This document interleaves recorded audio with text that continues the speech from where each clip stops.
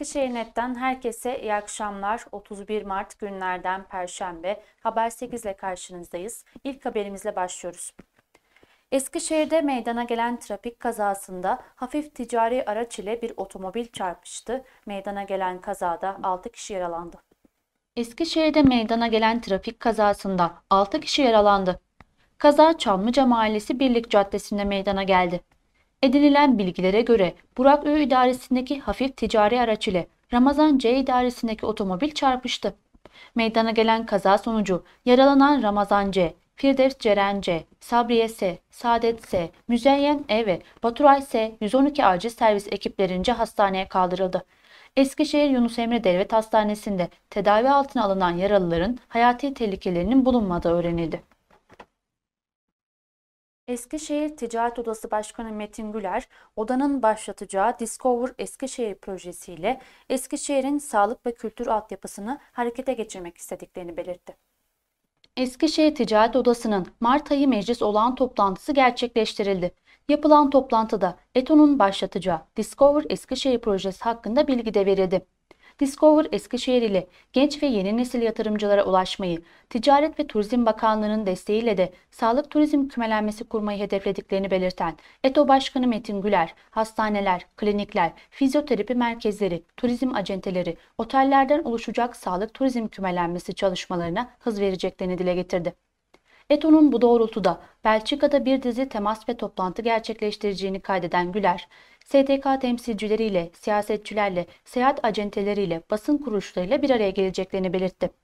Ayrıca bu kapsamda Eskişehirli paydaşlarıyla bir araya getirmek üzere Nisan ayında Belçika'daki seyahat acentelerini Eskişehir'e davet edeceklerini ve 3 günlük program gerçekleştireceklerini sözden ekledi. Eskişehir'in çok nitelikli bir sağlık ve kültür turizmi altyapısı olduğunu belirten Güler, bu potansiyeli harekete geçirmek için çalışacaklarını söyledi. Orta Mahallesi'nde Ramazan ayı boyunca 130 vatandaşa her gün iftar yemeği dağıtılacak.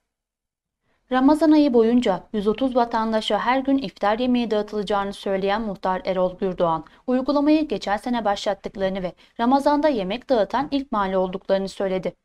Öte yandan her gün 200 civarında vatandaşa pide dağıtacaklarını kaydeden Gürdoğan, önceden belirlenmiş listede yer alan vatandaşların her gün muhtarlığa gelerek yemeklerini alabileceğini belirtti. Gürdoğan, 61 yerde, 71 yerde 130 kişilik iftar yemeği dağıtacağız. Geçen sene başladık. Geçen sene sayımız 200'dü. Bu sene biraz düşürmek zorunda kaldık. İki yerde yapılacak yemeği 130 kişiye dağıtacağız. Buna Paşa ve Dede mahallelerinde kattık. Kart usulüyle yapacağız. Kart veriyoruz, muhtarlığın kaşesini vuruyoruz. Ailedeki kişi sayısına göre yemek dağıtıyoruz dedi. Çalıntı motosikletle hırsızlık yapan iki şüpheli yakalandı. Biri çıkarıldığı mahkemece tutuklandı. Edinilen bilgilere göre Tepebaşı İlçe Emniyet Müdürlüğü'ne bağlı ekipler iki ayrı iş yerindeki hırsızlık olayıyla ilgili çalışma başlattı. Hırsızlık olayına karışan motosikletli HD ve YD isimli şüpheliler kovalamaca sonucu yakalandı.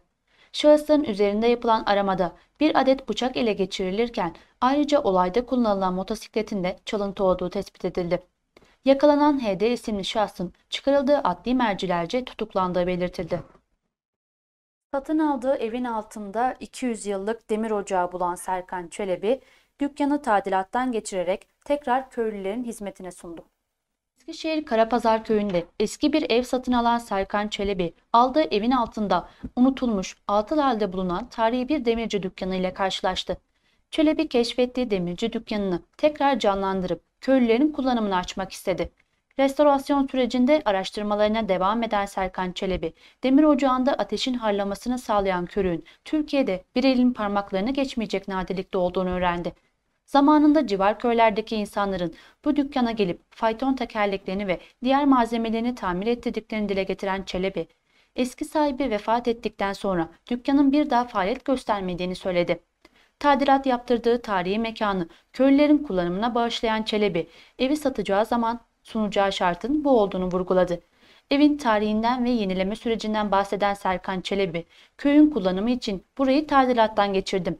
İsteyen fırsat bulduğu zaman, işi olduğu zaman ocağı yakıyor.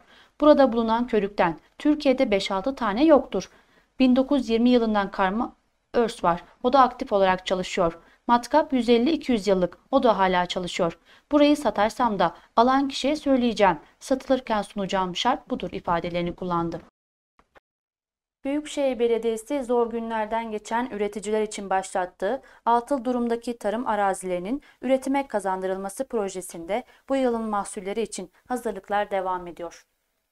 Büyükşehir Belediyesi arazilerine ekilen mahsullerin çiftçilere tohumluk, hayvancılıkla geçinen vatandaşlara ise yem olarak hibe edildiği proje kapsamındaki çalışmalar tüm hızıyla devam ediyor.